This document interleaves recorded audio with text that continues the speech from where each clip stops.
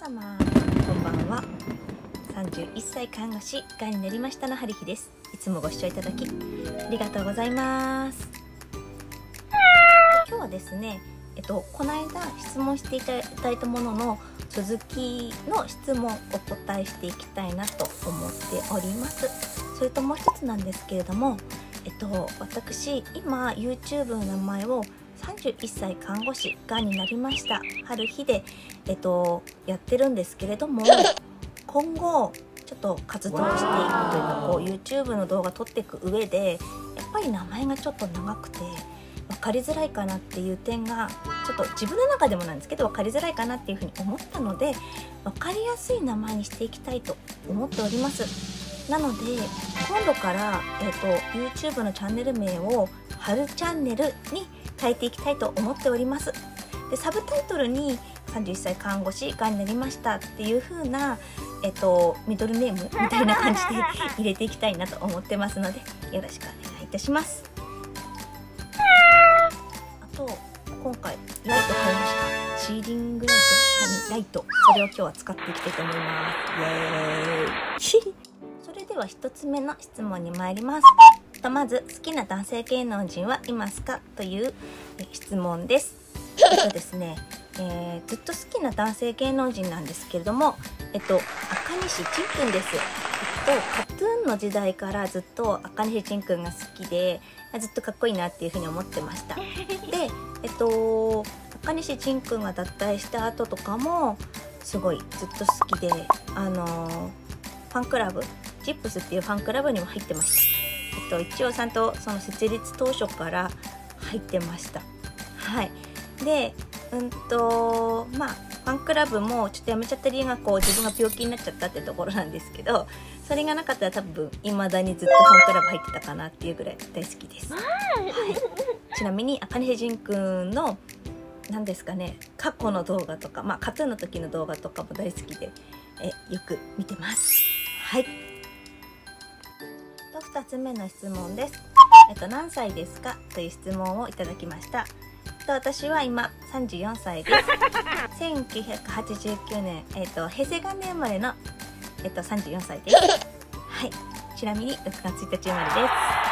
この間誕生日を迎えました。はい。で、ちなみに、ちなみにちなみにばっかなんですけど、えっと、がんになった時は、えっと、31歳でした。はい。と次の質問です。えー、何キロですか？という質問をいただきました。えっと、基本的には30、ん？違う、間違った。基本的にはえ43キロです。で、夏は体重が1から2キロぐらい増えやすくて、冬は2から3キロぐらい痩せます。なぜか、なぜか、なぜか、こんな感じで体重の増減があります。自分でも謎です。はい。で、気温が安定してる時は体重ほぼ43キロのままで継続してます。はい。で、ちなみに高校の時が一番体重がありました。多分その時でマックス47キロとか48キロぐらいあったような気がします。え、記憶は定かじゃなくて、あれなんですけれども、そんな感じです。はい。えー、次の質問いきます。身長は何センチですか？と今身長は155センチです。はい。えー、誤差で156センチ叩き出したことがあります。えっと小学校6年生から身長はほぼ伸びていません。はい。次の質問です。えどこ住みですか？という質問をいただきました。えっと茨城県に住んでます。えっともともと実家が茨城でと茨城県に住んでました。とただちょっとあのー、3年ぐらい群馬にいた時期もあります。多分知ってる方はいらっしゃるかなと思います。でがんになって抗がん剤やるってことで茨城県に戻ってまいりました。はい。であのー、ここでちょっとしたお話なんですけれども実は、えっと、SNS のフォロワーさんの中に、えっと、抗がん剤中自分が抗がん剤やってた時にこう入院していた、えー、病院、えーと、同室だった方がいらっしゃいました。すごい嬉しいなっていうふうに思いました。でまあその後ちょっと退院して、まあ、自分がこう定期的に病院受診している時にちょっと DM をいただきました。でその時にあの実は同室でだったんですって話をいただいてもうそのお話いただいた時にすっごい嬉しくなりました。やっぱ同じなんて言うんですかね同じ場所で同じ時をこう2人で2人でっておかしい。同じ時にこう同じことを経験していた同士というか一緒に頑張ってきた人とこういう風にこうつながれるっていうのはすごい嬉しいなって思いました。ありがとうございます。と次の質問です。尽くすのと尽くされるのどっちが幸せだと思いますか？という質問をいただきました。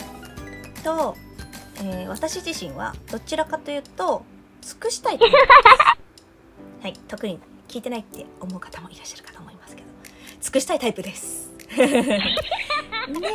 まあ、ただねその今の質問、えー尽くすのと尽くされるのどっちが幸せだと思いますかって質問に対しての答えなんですけどもうーんとまあ好き同士とか付き合ってる同士友達同士とか、まあ、関係性いろいろあると思いますでもお互いのタイミング次第ではその時々で尽くしたり尽くされたりっていうのはあっていいのかなっていうふうに私は思ってます。その時々でお互いにそういうのを受け入れつつ過ごすことってそれが幸せなんじゃないのかなっていうふうには感じてます。感じてます。と思ってます。とお互い平等にこう生活リズムじゃないけどこう生活の中でそういうのをすり合わせていって尽くし合うことがベストなんじゃないのかなっていうふうに私は考えました。はい。質問の答えになってるかどうかわからないんですけどいかがでしょう。かはい。えー、と今の趣味は、えー何ですかという質問いただきました。えっと今の趣味は、えー、御朱印集め。えーこんな感じで御朱印帳がねらの御朱印帳はもう漫画、全部埋まっております。はい。でこちらの青い方もこの間全部はい。埋まりました。あーすっごいこうたくさんのね神社さんのねご神こうありがたいことにお受けさせていただきました。でこちらね3冊目なんですけど鹿島神宮の、ご朱印帳なんです、まあ、これからこちらの方にあのいろいろご朱印受け取ってあのお受けしていきたいなっていうふうに思っております。はい。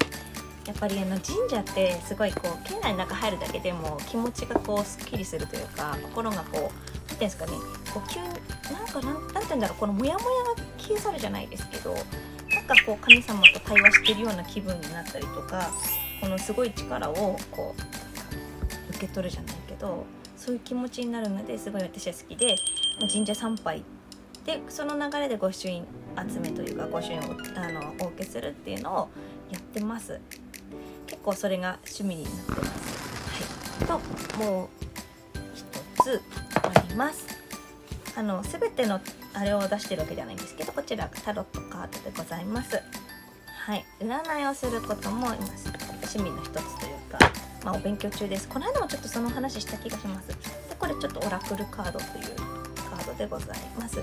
えっと私今オラクルカードとかタロットカードとかもすごい集めててそれ集めることも趣味なんですけど占いをすることも趣味ですなのであのいろんなその YouTube とか見たりとかしながら勉強してますはいで他に趣味といたしましてはえっとこういった形でえっとはいあれですね。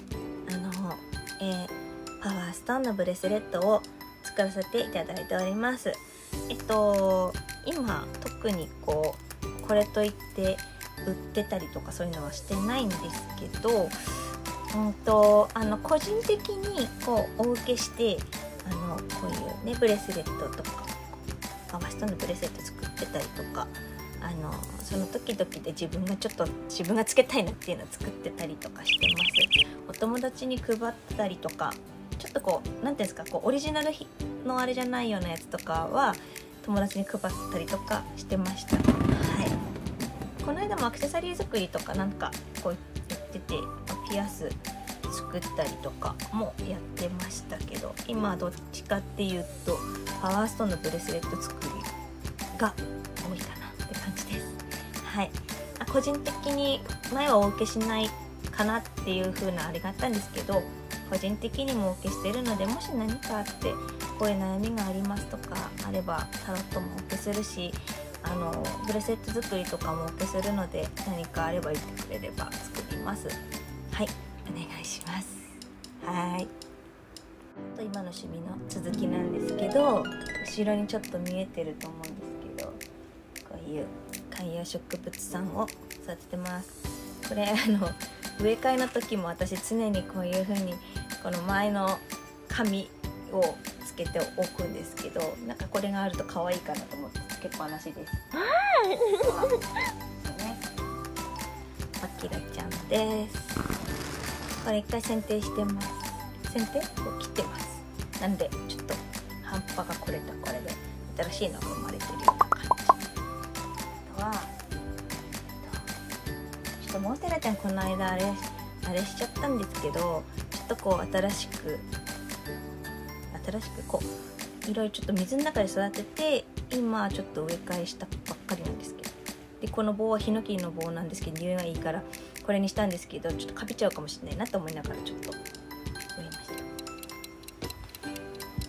でおこいしょ。こちら。えっとあれです。ガジュマルさんです。はいこれちっちゃいガジュマルさんです。これも植え替えしたばっかりなんです。けど可愛いでしょこれはローズマリーコちゃんですちょっと色がおかしくなっちゃってちょっと植え替えしました。はいローズマリーコちゃんです。でこれこの間お誕生日にいただいたガジュマルの木ちゃんです。